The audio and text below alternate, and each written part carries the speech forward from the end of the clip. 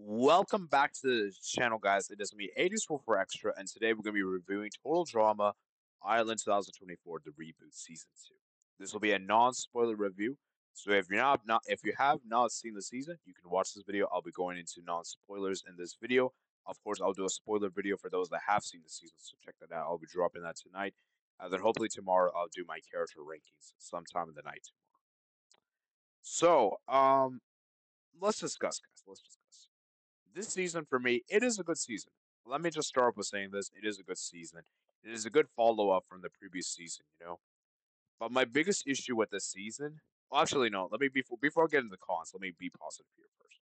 What I like most about this season is that this season gave characters that didn't do so well the first season another opportunity to shine, and I thought that was a very good on the writers to actually have them continue because most of the characters most of the characters were given very good development here, and it was almost like Total Drama Action.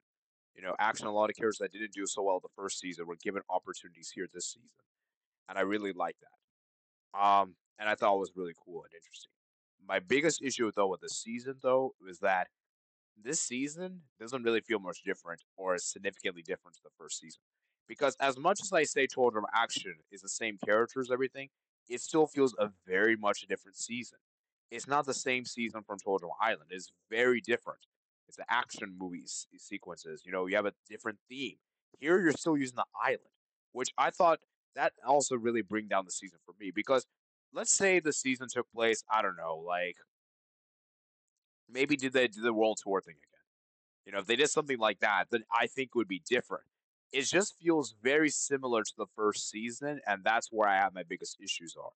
And another problem is that a lot of the same characters that did well the first season still did very well here, which is also kind of a little problematic. I'm not going to spoil which characters did very well.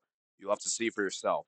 But a lot of the characters that did so well the first season also did very well here, and I didn't really like that fact. I thought it was kind of a bit too predictable for my liking and everything like that. And the antagonist for this season is pretty much the same as the last season pretty much the same as the last season, which I also thought was a bummer. I would liked to have seen someone else be an antagonist, you know, not the same person essentially.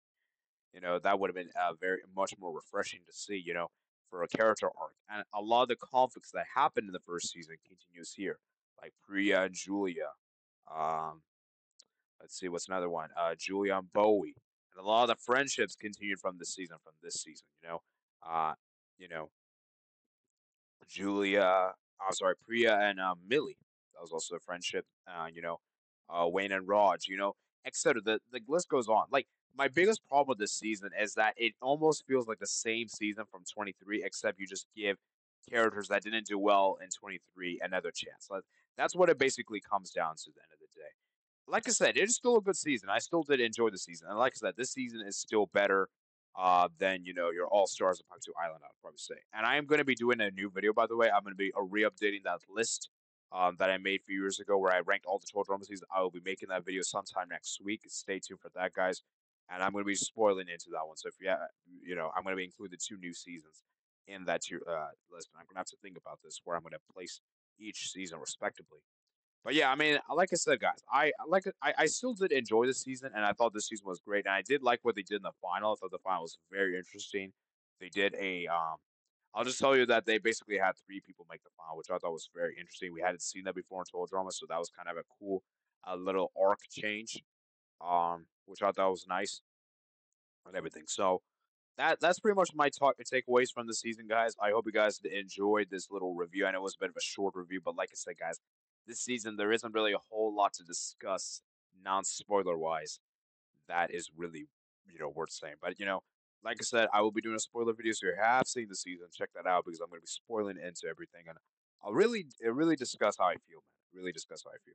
Anyways i hope you guys enjoy remember guys like and subscribe and peace out